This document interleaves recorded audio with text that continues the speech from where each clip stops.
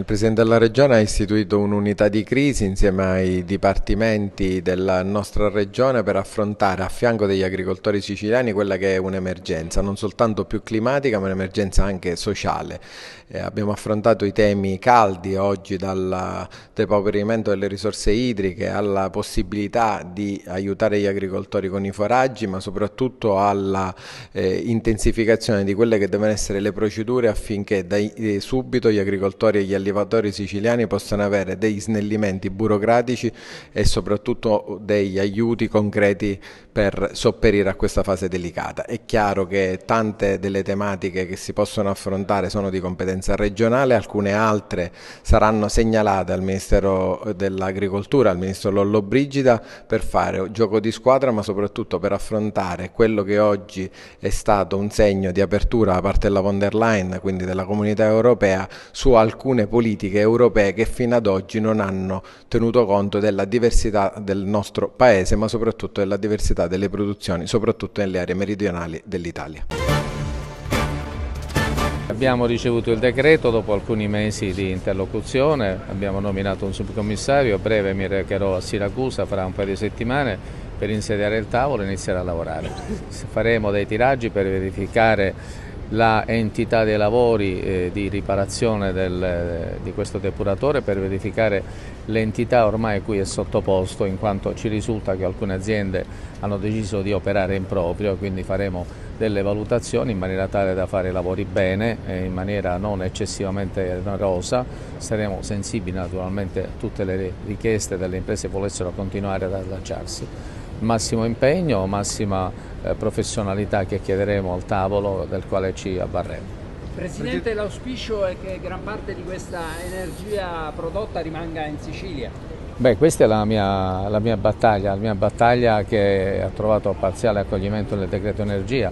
Eh, ci siamo battuti, abbiamo minacciato, ma soltanto minacciato, il blocco del rilascio delle autorizzazioni del fotovoltaico nel momento in cui non ci fosse stato riconosciuto dal governo nazionale delle royalty eh, nel decreto c'è un accenno, c'è un riferimento a che le conferenze delle regioni possa effettivamente distribuire queste nuove royalty, noi faremo la nostra parte ma la consideriamo già una prima vittoria. Abbiamo già un appuntamento telefonico domani ci concordato col sindaco di Catania, col sindaco Trantino e domani stabiliremo la data per eh, insediare un tavolo, verificare quali sono i problemi e portare avanti dei progetti che vanno nella direzione di, di riqualificare l'area industriale. Sono assessore da un anno, per cui abbiamo trovato un po' di problemi.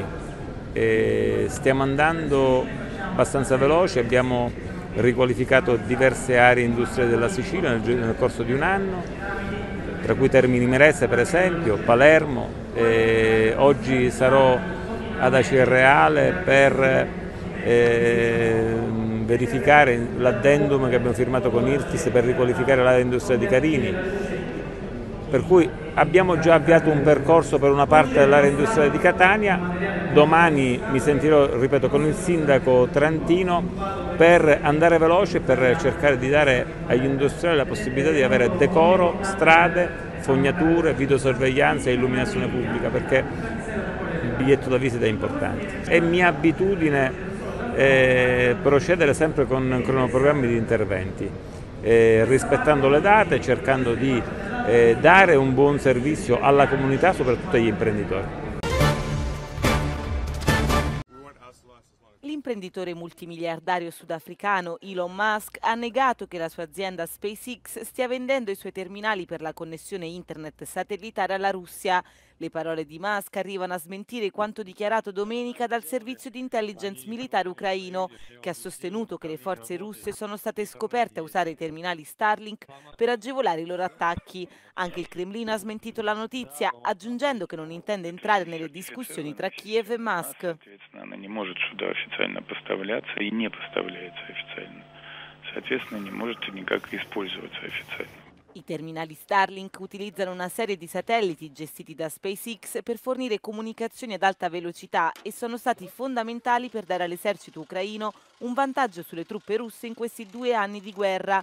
Nelle ultime settimane i media ucraini però hanno cominciato a riportare numerose notizie sull'uso di Starlink da parte delle truppe russe in prima linea nell'Ucraina occupata.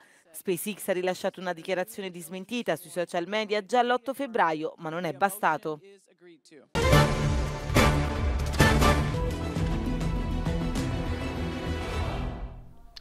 Russian forces appear to have constructed a 30 kilometer long barrier dubbed the Tsar Train in occupied Donetsk region, possibly to serve as a defensive line against future Ukrainian assaults.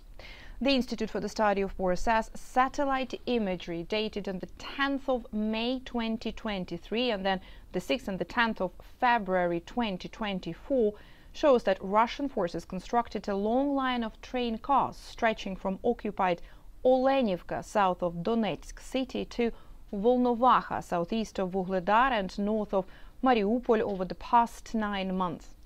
A Ukrainian open source intelligence interactive online map of the military operations Deep State reported on the 11th of February that Russian forces have assembled more than 2,100 freight cars into a 30 kilometer long train.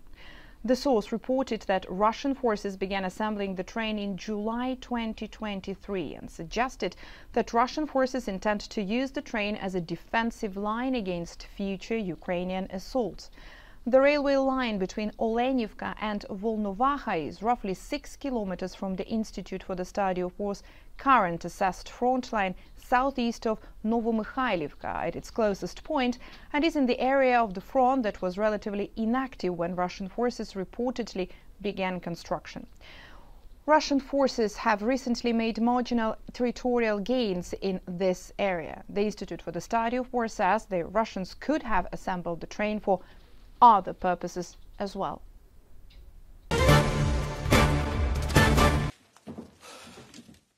Il capo dell'agenzia ONU per i rifugiati palestinesi, Filippo Lazzarini, spera che la Commissione europea continui a finanziare le sue operazioni. Durante la sua visita a Bruxelles lunedì, Lazzarini ha affrontato le preoccupazioni della Commissione riguardo le presunte infiltrazioni di Hamas nell'agenzia, che hanno spinto l'Unione ad avviare una revisione dei finanziamenti.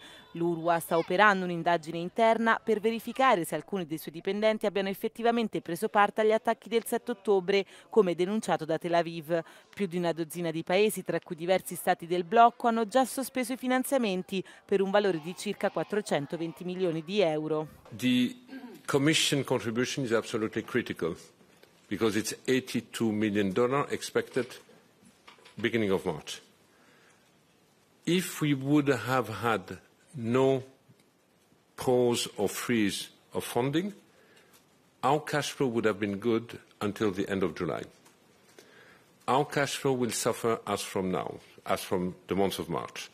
It will be negative, expected negative 30 to 40 million in March, but then it will be significantly negative as from April.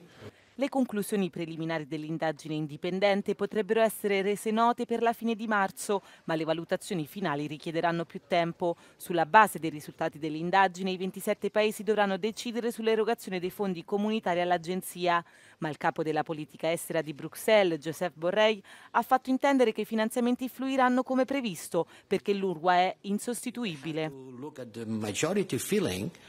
I think that the majority clearly is understanding the fact that uh, there is no alternative to support uh, the Palestinian people that what we have in place and has been in place for 70 years or more with Hamas and without Hamas.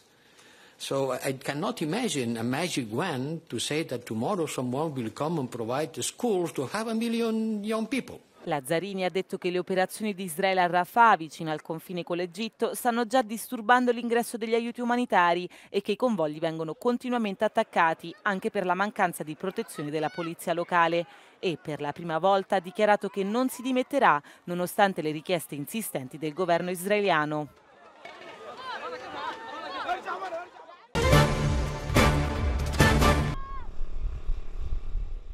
Il completamento dell'invasione militare di Gaza annunciato da Israele ha suscitato le proteste del mondo.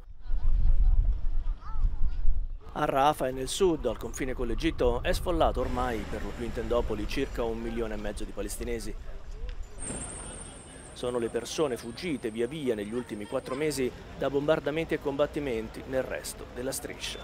אנחנו רוצים בעצם להביא לפירוז של הרצועה, והדבר הזה מחייב את השליטה הביטחונית ואת האחריות הביטחונית העליונה שלנו. אני אומר על כל השטח מערבית מהירדן, כולל רצועת עזה, אין תחליף לזה בעתיד הנראה לעין, ואנחנו אומרים את זה גם לקהילה הבינלאומית, גם לנשיא ארצות הברית, גם לכל המנהיגים, אין תחליף לזה. Raid aerei su Rafah lunedì hanno causato decine di morti e feriti. Prima dell'attacco finale Israele deve avere un piano di evacuazione dei civili fattibile, aveva avvertito il presidente degli Stati Uniti Joe Biden domenica. La gente non sa dove scappare, gli ha fatto eco l'Unione Europea. Hamas ha minacciato che in caso di avanzata su Rafah non vi sarà alcun accordo sugli ostaggi. Non permetteremo che si ripeta una pulizia etnica dei palestinesi, ha detto lunedì dal Qatar il presidente dell'autorità nazionale palestinese Abu Mazen chiedendo l'intervento della comunità internazionale. Con il 51,7% dei voti nel ballottaggio di domenica, Alexander Stubb è il nuovo presidente della Finlandia. L'ex premier ha battuto il candidato indipendente Pekka Havisto, fermatosi poco sotto il 49% delle preferenze. 55 anni, conservatore ma europeista, Stubb ha già ricoperto diversi incarichi. Si troverà a gestire soprattutto la tensione con la Russia, ora che la Finlandia, che ci confina, è membro della Nato. Nella Repubblica finlandese, infatti, il presidente guida la politica estera e le forze armate.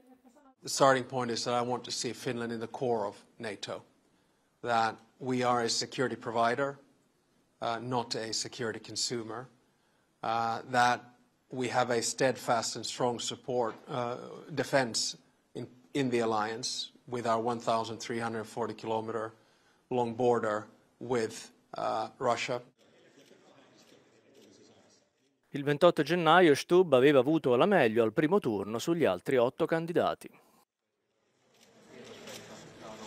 We had two ex uh, excellent candidates and both of them would be a great president here in Finland but the winning margin was quite close so I think he has a lot of work to unify whole whole country and very proud of uh, his victory like uh, for me uh, those values the liberal values that he presents uh, are really, really important in these times.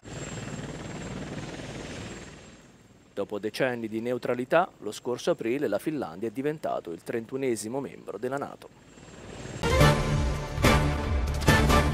È bastato un abbraccio durante un breve incontro a San Pietro domenica per mostrare al mondo quanto i rapporti tra il pontefice e il presidente argentino Javier Milei siano migliorati. L'occasione è stata la canonizzazione della prima santa argentina dopo gli insulti che Milei aveva rivolto a Papa Francesco durante la campagna elettorale a sancire la riconciliazione anche l'udienza privata lunedì mattina. La visita a Roma di Milei è stata anche l'occasione per un incontro ufficiale con il Presidente del Consiglio Giorgio Meloni qui a Palazzo Chigi, una visita che rientra nel primo tour internazionale di Milei che lo ha portato prima in Israele e poi in Italia. Il Presidente argentino rappresenta una figura di riferimento della destra sudamericana e il Presidente Presidente del Consiglio Giorgia Meloni è stato tra i primi leader europei a congratularsi come lei eh, per la sua vittoria e entrambi hanno la stessa opinione politica su una serie di argomenti. Un incontro che è servito soprattutto a rafforzare gli storici rapporti di amicizia tra i due paesi e a gettare le basi di una nuova alleanza al di là dell'Atlantico. Oltre al Presidente del Consiglio, Milei ha incontrato il Presidente Mattarella e il Ministro degli Esteri italiani. Giorgia Orlandi, Euronews, Roma.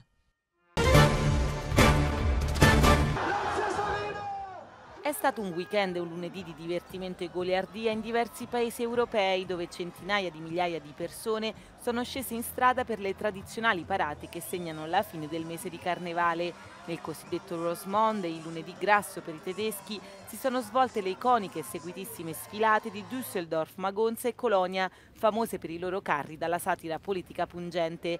Le maschere eleganti e ricercate sono invece il segno distintivo del celebre Carnevale di Venezia, che si chiuderà martedì con la proclamazione del costume più bello in piazza San Marco. On a une passion pour Venise, pour la ville, et du coup on essaye de porter notre savoir-faire en justement perpétuant les traditions euh, vénitiennes.